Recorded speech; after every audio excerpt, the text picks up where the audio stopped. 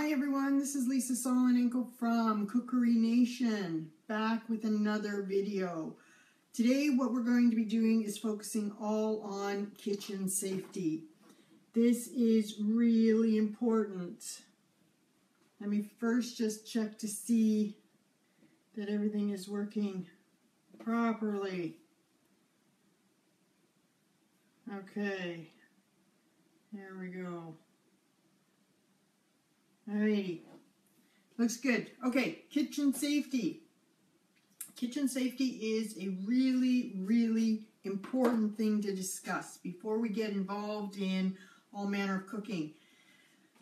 There's certain things that people just assume everyone knows, but in fact they don't. What we're going to do is we're going to have a strategy. We're going to go through the cleaning aspects in the kitchen, we're going to go through storage of food, food preparation, and ultimately cooking. And we're just going to touch on all these different parts and um, give you some general guidelines. We're going to have, we have some other resources on the website that you can have a look at and get to know. But I wanted to go over some of these rules in an actual kitchen. So, let's get started. When we're talking about cooking in the kitchen, let's first talk about cleaning. Before you start cooking, get everything tidied up. Get all the dishes in the sink and washed, get the counters cleaned off, get anything that is going to get in your way out of your way. You want to have clean surfaces, clean areas. One of the first things I do is before I start cooking, I make sure I have a sink of soapy water ready so that as I'm cooking, I can wash dishes as I go. Really, really important.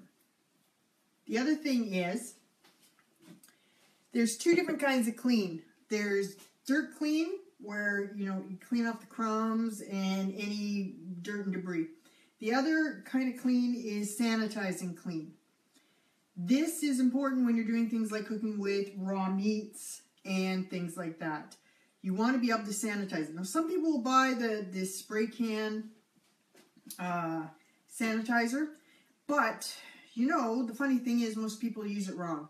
It says in really tiny print there, you're supposed to spray it everywhere and let it sit for five minutes, then wipe it up. What most people do is they will spray it, or even the ones that come in the wipes, they'll wipe everything down and then dry it immediately.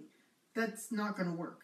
So, if you think making your own is going to take up a lot more time than buying the commercial stuff, you're wrong because it works the same way.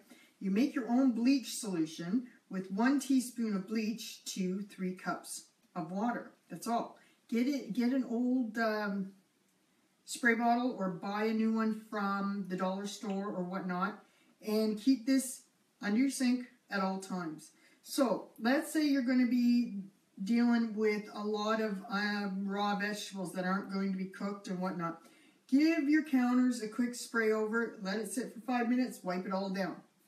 If you are cooking with, working with raw chicken, you want to be spraying your cutting boards afterwards and your area with bleach water solution.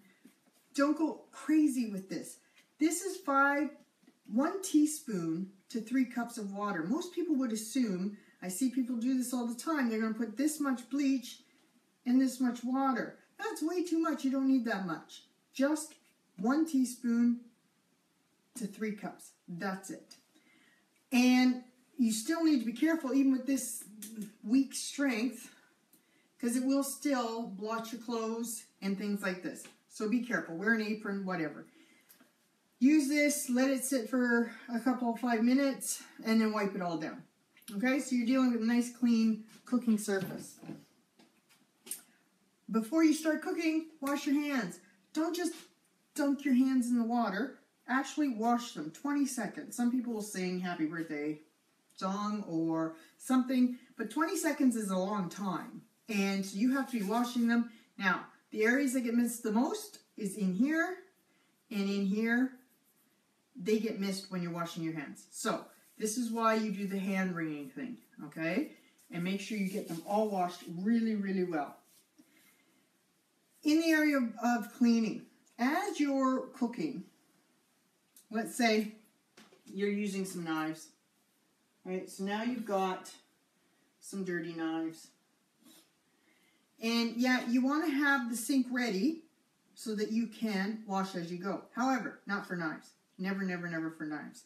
What I normally do is I will either wash them immediately or I will put them in my second sink. And I will leave them here so that they get washed on their own. I just I'm just healing from a cut I got the other day because somebody put a knife in the sink when my back was turned when I was washing the dishes. And of course, you go into the sink and you can't see what's in there because it's soapy water. You go into the sink and the next thing you know, you slice your finger open, which I did. Okay? If you're washing dishes with other people, let them know put the knives separately. I washed them last. Okay. The other thing I want to go over with cleaning is your cutting boards. Always use two different cutting boards. One for veg, salads, raw things. Another one for meat. Now, whichever one you choose to use for which is fine. Just keep it that way. Um, the most important thing is that when you're done cleaning your cutting boards, you allow them to dry. Don't just take them and, oh, okay, now they're stacked together, and I'm going to put them where I put my cutting boards. Because what ends up happening is you get, moisture gets trapped underneath here, and that's how bacteria grows. So, always, always let your cutting boards, whether plastic or wood, air dry and dry out completely so there's no moisture left. Really, really important. And always change your cutting boards when they're getting really tattered and battered. And I like to have two completely different looking cutting boards so that I don't get confused as to which one's for fruits and veg and which one's for meat. On a side note about cutting boards, the only thing I do advise, whether you, wherever you fall in the debate, wood versus plastic, is that you don't use glass. Glass just ruins your knives. That's it. It just ruins your knives. So if you want to have a nice glass cutting board to display cheese and whatnot, great. But don't use a knife on glass. Okay, so what else do we need to cover? that pretty much covers the cleaning part. We're gonna we're gonna touch a little bit more on that when we get to the cleaning part or the cooking part. So hang tight. I'll let you know when we get there. Storage of your foods. Okay, this is really important. And we had discussed in a previous video about using our labels, okay, and transferring uh, packaged food into their own containers, right? So if you choose to do this, which is very, very smart idea, however, what you want to do is any foods that do have an expiry date, make sure you put it on the label. And don't just keep topping it up. If your if your container's down to this much, and you go and buy a new whatever, don't dump this in here because this has a, whatever's left in the bottom has a different expiry date than what you just put in the top. And that's never going to get used. It's all at the bottom. And if, if you, there's a chance that it can go bad or rancid, it will affect all of it. So if you if you're down to this much, great. Buy your your your replacement, but just keep that put away until you empty this out. Then refill this. Give it a rinse and refill it. Um, when it comes to putting food in the fridge or freezer, uh, it is really important to label your food. Put the date when it went in and um, what it is. If you find anything that is been there for a while and it does not have a label because you just weren't doing that,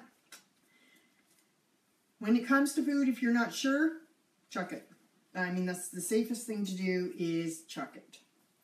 Um, when it comes to storage in your refrigerator, you have to The most important thing is if you're thawing out food, uh, say uh, chicken for supper tomorrow night, raw meats always go at the bottom of the fridge. And you do this for a very important reason. If something happens to your container and you get any dripping from that container, you don't want it dripping onto all your other food.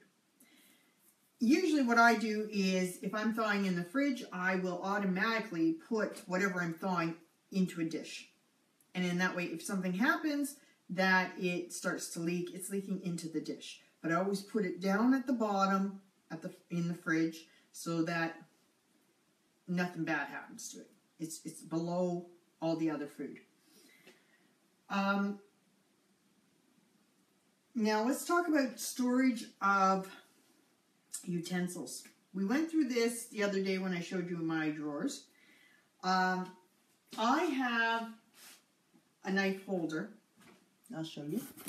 I have a knife holder right there. But I also do have a knife in my drawer. However, it has a cover. It's a ceramic knife, which are extremely sharp, and it has a cover. Never put knives in a drawer on their own without a cover or without a drawer block or something because you will damage the knives, first of all. Second of all, you can hurt yourself. Tuck into your drawer, cut your hand. So let's just not do that. Okay? Now, on to food prep. So you've got yourself a nice clean kitchen. You're all ready to go. You've got um, your sink has got soapy water in it. You've washed your hands. Now you're going to do your food prep because we really encourage doing a mise en place. A mise en place means everything in its place. So when you're going to cook a meal, you get all of the ingredients ready. You don't you don't go through the recipe and gather them as you need them. No, you, you gather them into the little dishes and have them ready to go so that when you're cooking, you know A, you've got all the ingredients you need. Nothing like getting to point in a recipe, you know, ah, I have no brown sugar. Ah, and you know what you've put in there and what you haven't put into the recipe. So you get to a certain point in the recipe and it says add the brown sugar and you go, did I add the brown sugar? I can't remember if I added the brown sugar.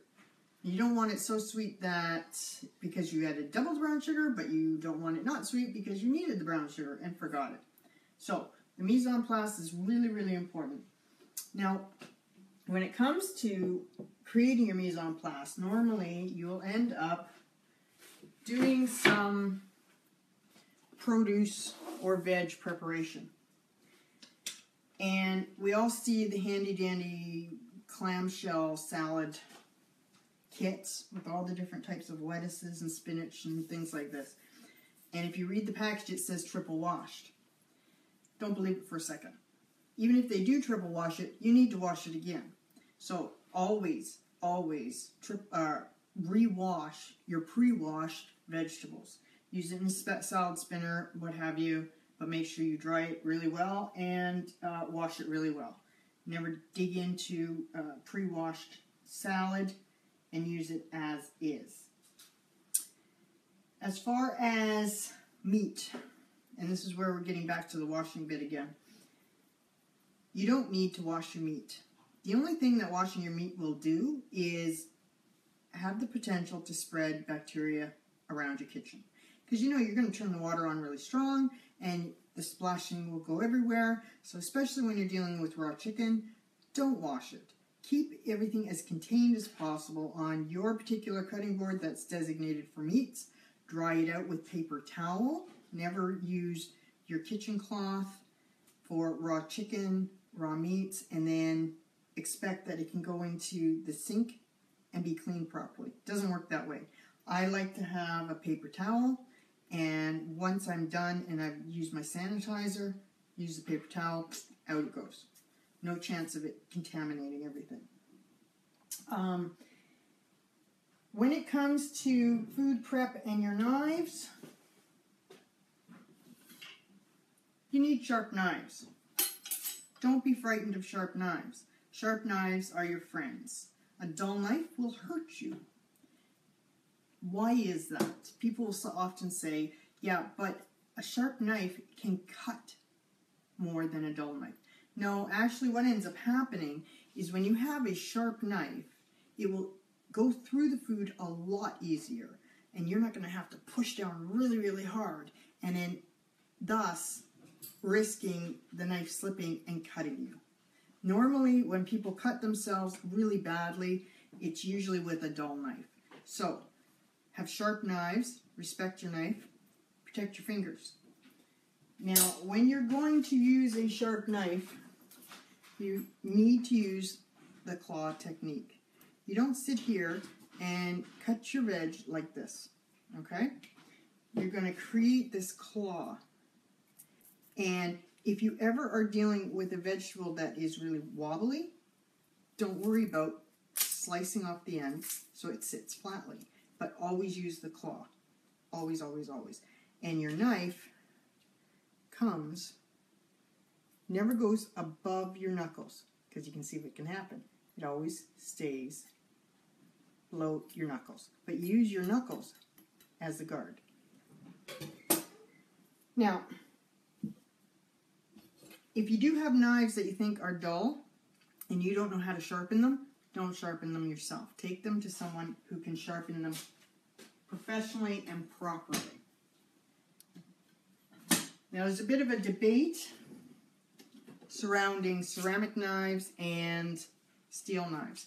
Ceramic knives are very sharp. Yes, they are. But they tend to chip. See, the tip of mine is chipped. And the reason why that happens is when you're cutting with a ceramic blade, you can't do sideways motion in order to kind of pry things. It doesn't work, you'll break the knife. If you drop the knife, you will break the knife. If you're cutting into meat and you hit a bone, you can break the knife. So, if you received a ceramic knife or you like using ceramic knife, I quite like my ceramic knife because it's nice and light, very, very sharp. Make sure you have a cover for it and make sure that you are cutting soft vegetables, soft cheeses, and none of this torquing motion when you're dealing with a ceramic knife. Otherwise, just use a really good steel knife. And you can get a really good one for 20 or $30. Don't think you have to buy a $200 knife. Now, also, when you're doing something food prep wise, use the right tool. Don't sit there and use a knife when you're supposed to be using a peeler. If you're peeling vegetables, use a peeler. It's two reasons. You're a lot less likely to slip when you are peeling with a peeler. And you're going to take off a lot less meat with a peeler than you are with a knife. Unless you're really, really good. My mother used to be able to take it just a hairline, just the skin, and that was it. However, when you're peeling with a knife, your tendency is to cut deeper and take more of the flesh of a potato and whatnot. So, use the right tool. If you don't have the right tool, don't try to make it up as you go along.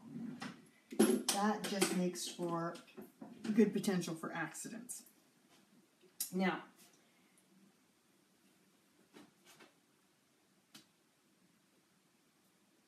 now, what else do we want to talk about? Washing your produce, always wash your produce. If you have a scrubby that's just for vegetables, that would be really good in order to wash things like cucumbers and stuff. They have that waxy film on them.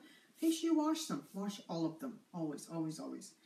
And don't be afraid to use your salad spinner for something other than salad. You can easily wash veg and then put it in the salad spinner to give it a dry. Sometimes I'll do that if I'm doing uh, really thinly sliced potatoes and whatnot and I want to dry them quick. I'll put them in a salad spinner. Okay, let's get on to the cooking portion. Now, when you're going to cook, your biggest appliance that you're going to use is your stove, of course. Now, what we're going to do here is I'm just going to move this over here. There we go. And I think I might end up turning you around. There we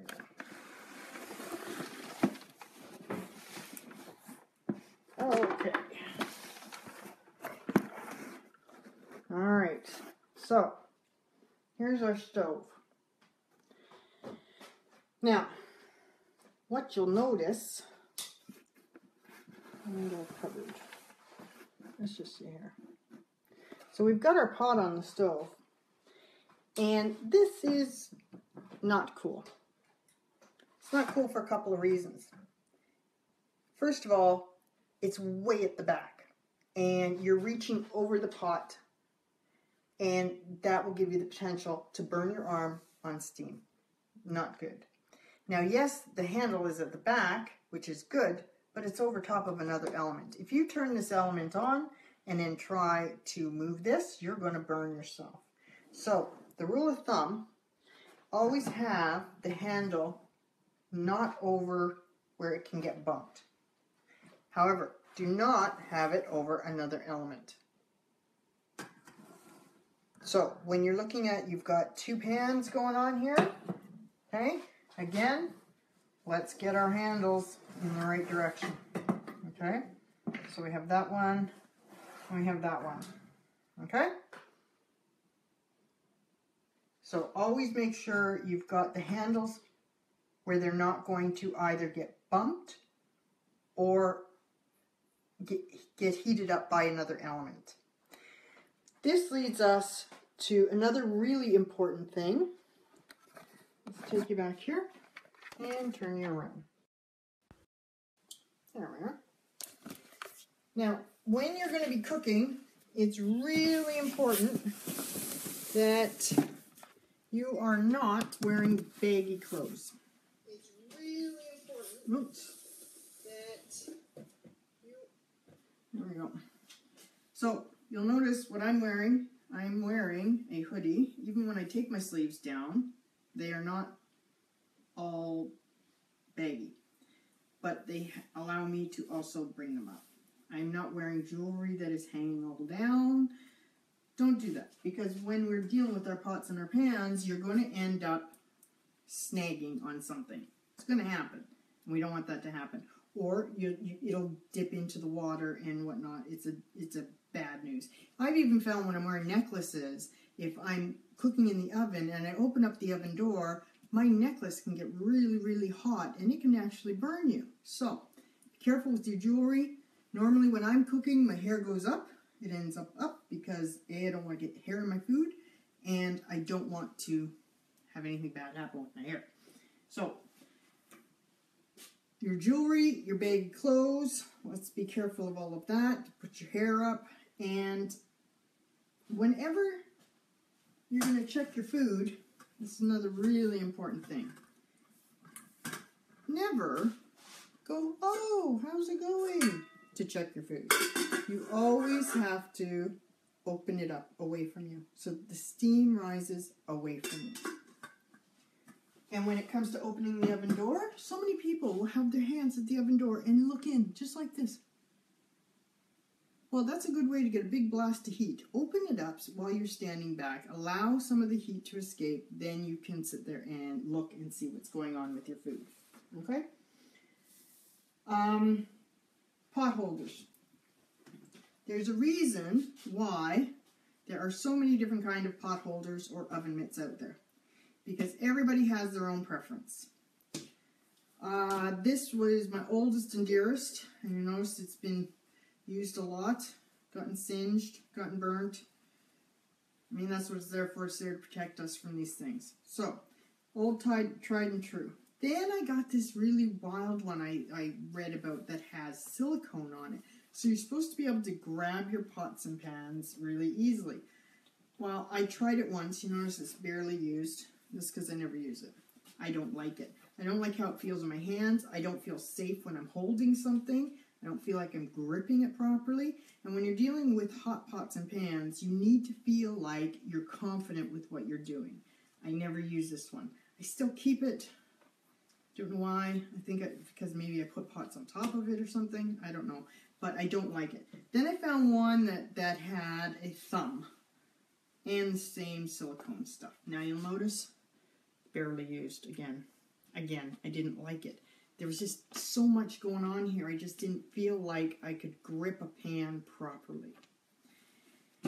So then I found these guys. Now these guys have been used. They're stained and they've just been used for everything. This is perfect. These are the oven gloves. I use these all the time and it allows me to grip them. I'm confident. I it it actually protects up into my wrist areas, which I really really like. And the takeaway from that is only use an oven glove or oven mitt or pot holder that you're actually going to use. Put it in your hand. Try to pick something up. If you're comfortable with it, use it. If you're not, do not use it. Don't use any kind of oven mitt or pot holder, you are not 100% confident in your abilities to use it. Put it away, don't do it again.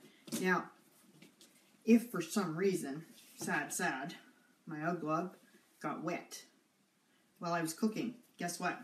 I'm going to have to use something else because I cannot go and grab a hot utensil with the wet glove. Same with these guys. If these get wet, no, you can't use it because the water will transfer the heat really, really quickly. Now, if you're a tea towel kind of girl or guy and use tea towels, don't do that. Use tea towels to pick up your hot pots and things like this. Don't do that. And they get wet. Don't do that for sure because the heat will transfer immediately to your hand and you will get burnt really fast. So, only dry utensils or dry mitts and potholders and no tea towels. I'm talking to you. Okay. Now, the other thing is your distraction level. If you're cooking with the stove, no distractions are allowed. So, if you normally can watch videos or whatnot, especially if you're using a new recipe, don't. Just focus on the recipe. Focus, focus, focus and put something in the background that will be background that you do not need to focus on.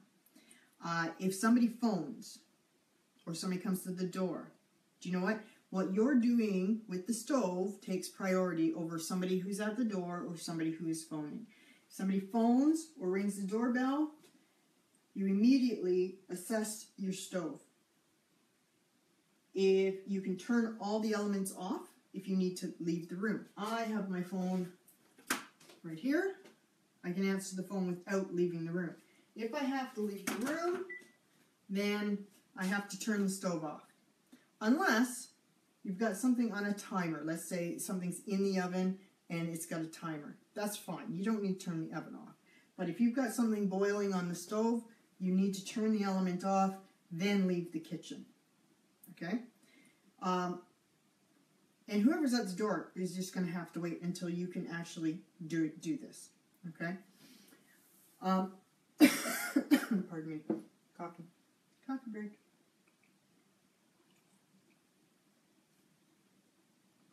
Um, as far as, let's say, you've got, uh, you're concerned that somebody is causing a distraction for you like coming to the door or something, and you really don't want to get stuck talking for a long time.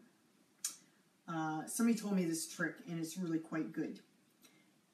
If you're concerned about being away from what you're doing for too long, and you feel uncomfortable saying, "Whoever's at the door, I can't talk. I'm cooking," set a timer on your on your stove or your microwave or whatnot for one minute, two minutes, whatever. While you're at the door or on the phone, the timer will go off. Then you can say, oh, I have to go, my timer just went off. And then normally people will say, oh, okay, no problem, go back to what you're doing, hey. Then you're off the hook, then you're back cooking. Um, now let's just say you're cooking and you burn something. accidents are going to happen. Don't worry about it. Don't freak out. You burnt your food. Okay. The only thing you don't do, you don't take whatever you burnt, scoop it out, and throw it in the garbage right away. Do you know why? Because you can start a fire. The food that you just put in the garbage is really, really hot. You burnt it. And if you've got plastic bags or whatever, whatever, you can you can melt the plastic or potentially start a fire. If you burn something, put it aside, let it cool, then it goes into the garbage or the compost or whatever. Um,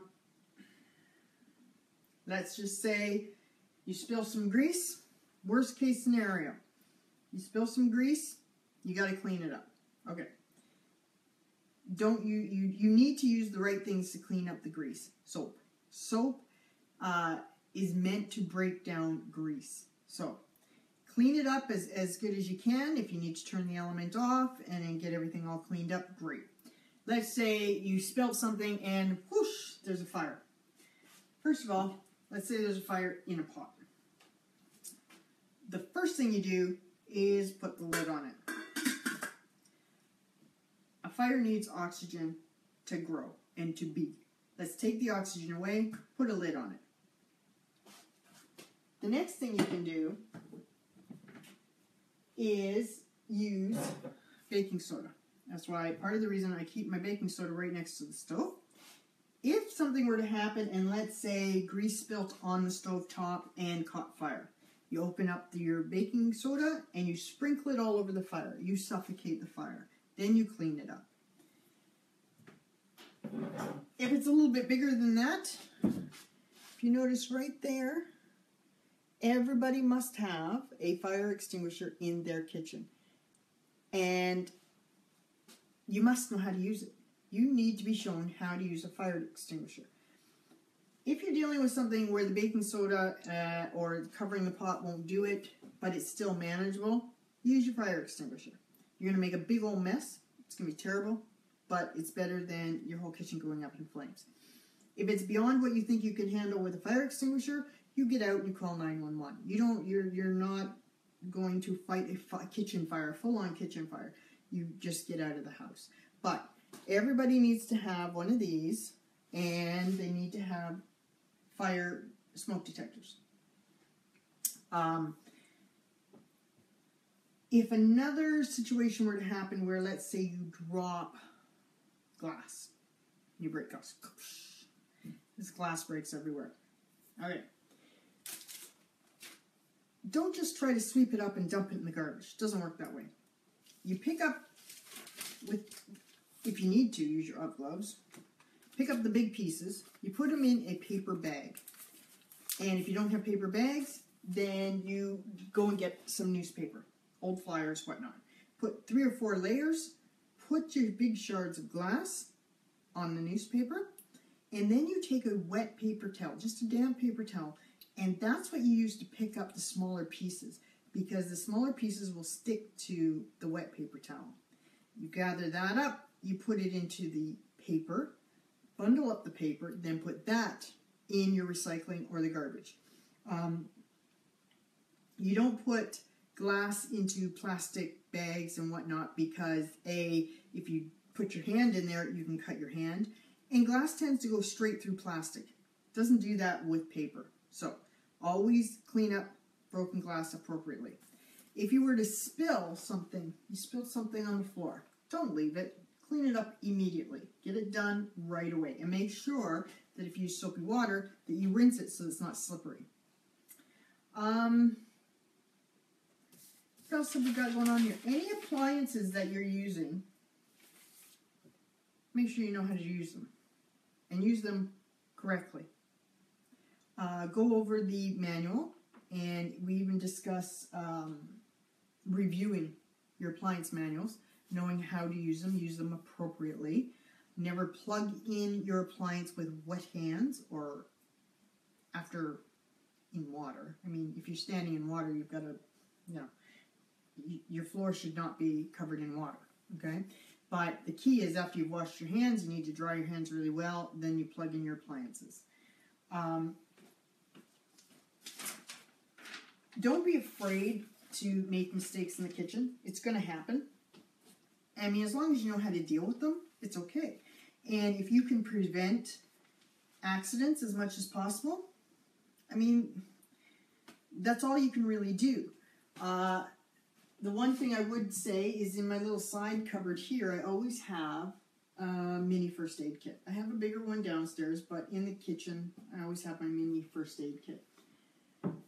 And if you have all your bases covered, then it should be good. And if you play smart in the kitchen, knowing how to make the claw and making sure your knives are sharp and making sure you sanitize your counters um, and making sure that you're not wearing baggy clothes or that your hair is not getting all in the way and your jewelry, all of these kinds of things are going to make it so that you're actually preventing accidents from happening. And then any accidents that do happen, you can deal with. Um, one of the, the final things I wanted to go over is when you're in the cooking process, you're cooking meat. What I want you to do is I want you to either write down or print out a little list and tape it in your in your cupboard, like I have my information sheets on my cupboard. And it tells you the safe cooking temperatures for meat. So that when you're cooking, you will not take the shortcut of not looking it up to make sure that you're at the right temperature. So when we're dealing with things like reheating food, you have to make sure that it's around it's 140, uh, which is 60 Celsius. Uh, when you're dealing with pork or veal or lamb, you want it at 145 Fahrenheit or 62ish centigrade. Anything ground, you want to put it, make sure it's cooked to 160 Fahrenheit or 71 Celsius. Chicken, the really important guy, is 165 Fahrenheit or 73 Celsius. So make sure you have those temperatures actually written down. Don't don't keep them up here. It won't happen. It won't stay. Make sure you write it down and put it in your cupboard. Tape it to this inside of your cupboard. Your cupboards are fantastic. You can tape all kinds of information on the inside of your cupboard. And you don't have to worry about trying to memorize it. Okay? Okay, so what we're going to do is we're going to create some links below this video to other uh, similar information that we have on the website so you can go back and refer to it. Um, review this video a couple of times, especially when you're just getting going and if you want to, if you're thinking about reorganizing your kitchen, keeping some of these things in mind as you're reorganizing. I'm gonna I'm gonna post this to Facebook and YouTube and of course to the website. And we have a dedicated area in the website that just says our videos right on the very top and that's where we are listing all of our videos. So you can just go there and have a look and all the videos are there. And we'll also embed them in some of the articles as well. Anyways, okay, that's all for me today. I will talk to you later and see you on the website. Make sure you like us or follow us so that you will know when we are coming up online again. Talk to you later. Bye-bye.